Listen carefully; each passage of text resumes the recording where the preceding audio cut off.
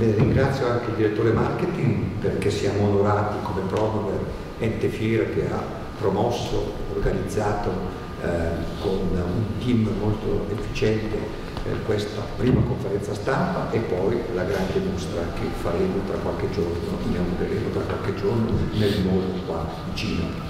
Eh, siamo nel centro della cultura, quindi abbiamo fatto una buona scelta quando abbiamo detto andiamo da.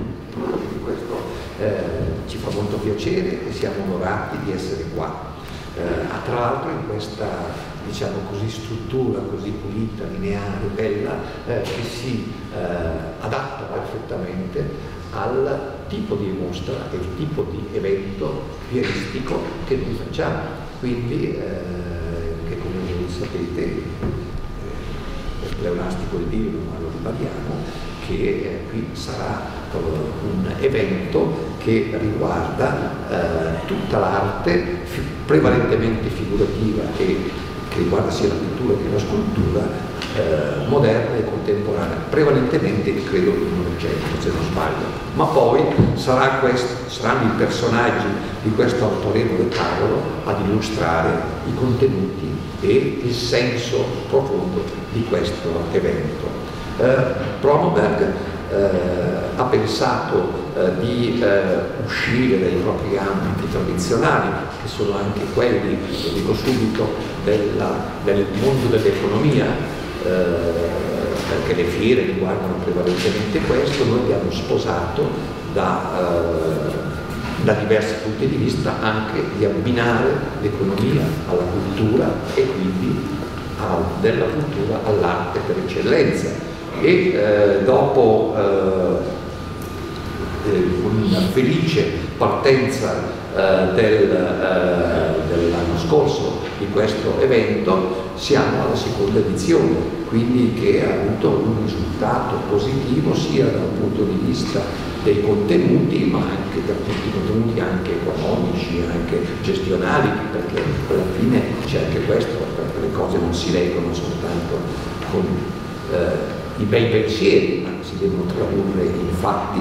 E quindi noi eh, dopo il debutto, eh, il felice debutto dell'anno scorso, oggi seconda l'anno scorso lo consideriamo anche in una logica eh, fieristica eh, come direi un assaggio, un'esperienza che poi va parata. E le nostre manifestazioni normalmente nell'arco dei tre anni o si consolidano o vanno bene o sono eh, diciamo così bene accolte, accettate, qualificanti oppure noi le togliamo. Ecco, quindi abbiamo un po' questo progress che noi facciamo nel corso del tempo, questo come logica eh, di una eh, di un'azienda, perché la prova è anche un'azienda, secondo me un ente che eh, idee, fa ideazione, promozione, realizzazione e eh, diffusione eh, di cultura prevalentemente economica. Quindi questa seconda edizione. Questa seconda edizione perché poi sempre Milano, l'anno scorso siamo stati alla Triennale esatto. e tu sei tu? Sì, sì. Questi telefoni. Ah, ok, io credo che non avevo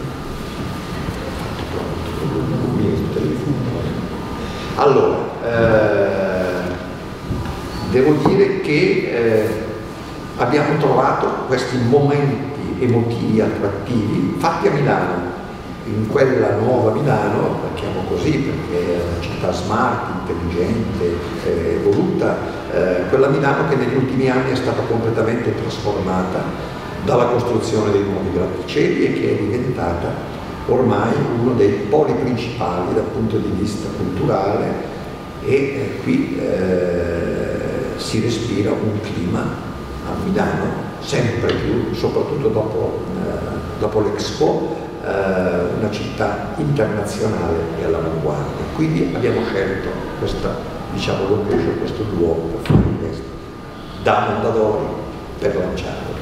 Quindi io credo che questo sia il massimo eh, che si potesse auspicare e eh, il nostro desiderio è stato questo e lo abbiamo realizzato. Devo anche dire che eh,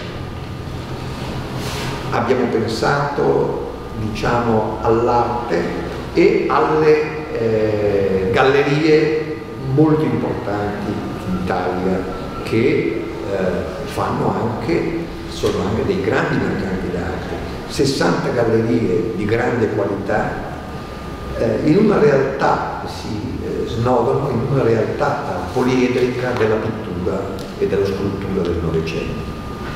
Quindi avremo eh, questo tema, il Novecento, la pittura e eh, direi anche il fascino e eh, le emozioni che questa dà ai visitatori. E io nel dare la parola evidentemente poi qua al nostro bravissimo Sergio Radici che abbiamo, eh, che, eh, abbiamo fidato, che da anni si occupa eh, di tutte queste tematiche dell'arte nelle sue varie articolazioni, nelle sue varie diffusioni, chiuderei con una, con una frase diciamo, di Picasso L'arte scuote dall'animo la polvere accumulata nella vita di tutti i giorni.